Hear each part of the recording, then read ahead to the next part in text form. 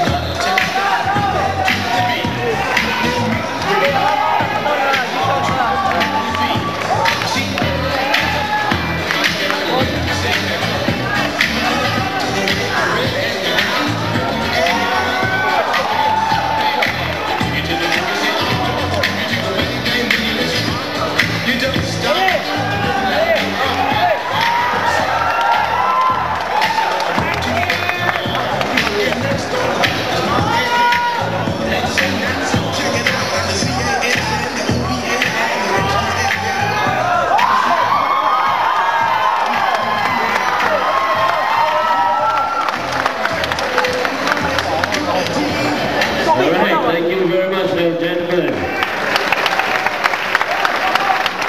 Thank you, judges, and thank you very much. And uh, we'll be back, like Bobby said, with results.